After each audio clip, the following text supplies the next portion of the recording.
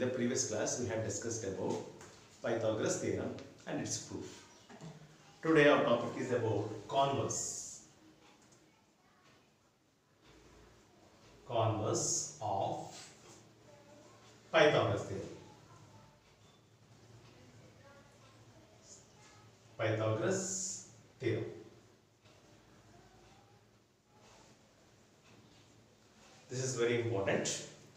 Pythagoras theorem and converse of the Pythagoras theorem.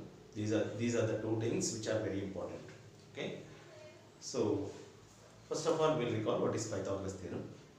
Pythagoras theorem is nothing but in a right angle triangle, the square of the hypotenuse is equal to the sum of the squares of other two sides. Okay. Now, what is the converse of the Pythagoras theorem? If square of one side is equal to the sum of the squares of another two sides, then the angle opposite to the first side is a right angle. The same thing, the same theorem telling in another way. So that is what we call it as Pythagoras theorem. Okay. See, for example, if you take a triangle, we don't know that this is a right angle triangle or not. But here, a condition applied in such a way that here, if AC square, square of AC is equal to AB square plus BC square. The square of one side is equal to the sum of the squares of other two sides. Then the angle opposite to the first side. What is the first side? AC. Which is the angle opposite to AC? Angle B. Is a right angle. So that is what we call it as converse of the Pythagoras theorem. Okay. You are going to have to prove this. Okay. How to prove the converse of the Pythagoras theorem? First of all, you need to you need to take a triangle. you need to take a triangle. Triangle. We have to prove that this triangle is a right angle triangle. Okay. Here, what is given? Given A, B, C. Here, given that AC square is equal to AB square plus BC square. Here AC square is equal to AB square plus BC square. Then angle B. Okay. Angle opposite to AC square. That AC. Angle opposite to AC. Angle B is a 90 degrees. This is RTP. What do you mean by RTP? Required to prove. Required to prove that angle B is a right angle. That means we have to prove that angle B is a right angle. Okay. For that, you need to do a construction. Okay, construction. What is a construction? We need to draw another right angle triangle. So this is a right angle triangle P, Q, R. So we already know that this we don't know that it is a right angle triangle. But, but this is already right angle triangle okay? We need to draw a right angle triangle in such a way that AB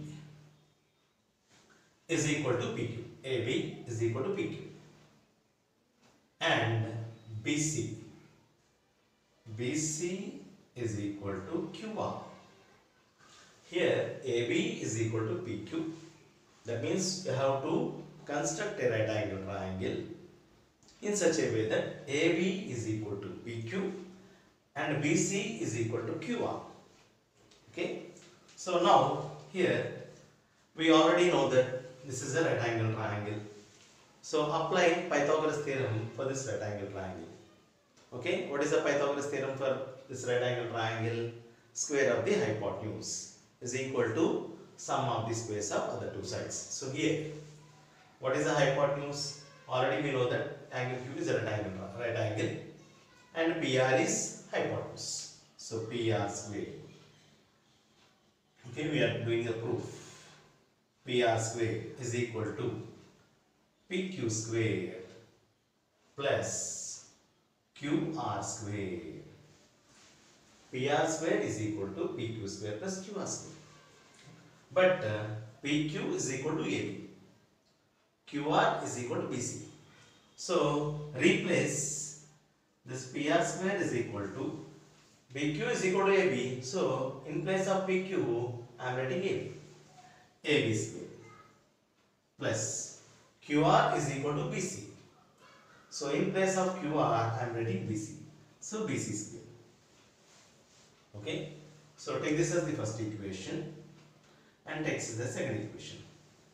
So PR square is equal to PQ square plus QR square. But PQ is equal to AB. So again I am writing PR square is equal to AB square plus BC square. Okay. But already we know that already it is given that AC square AC square is equal to AB square plus BC square.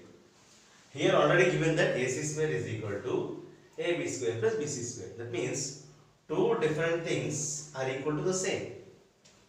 Then those two things are equal to one another. That means here PR square is equal to AB square plus BC square and AC square is equal to AB square plus BC square. So here PR square is equal to AC square. That gives PR is equal to AC. So automatically PR becomes equal to AC. Now apply congruency property. Triangle ABC is congruent to triangle PQR. By which by, by which congruency? Here AB is equal to PQ.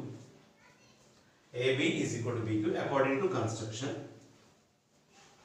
According to construction, AB is equal to PQ and BC BC is equal to QR. This is also according to construction. Okay, side side and uh, AB AB is equal to PR. This proved. This is proved. According to these two, according to this here, we proved that PR is equal to AC. So here, according to which congruency? SSS congruency. Side, side, side. S, S, S congruency. Triangle ABC is congruent to triangle PQR. Okay? If these two triangles are congruent according to SSS congruency, the remaining corresponding measurements must and should be equal. What are the remaining corresponding measurements? Angle A.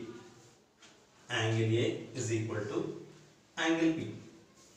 Angle A is equal to angle P. And here angle B, angle C.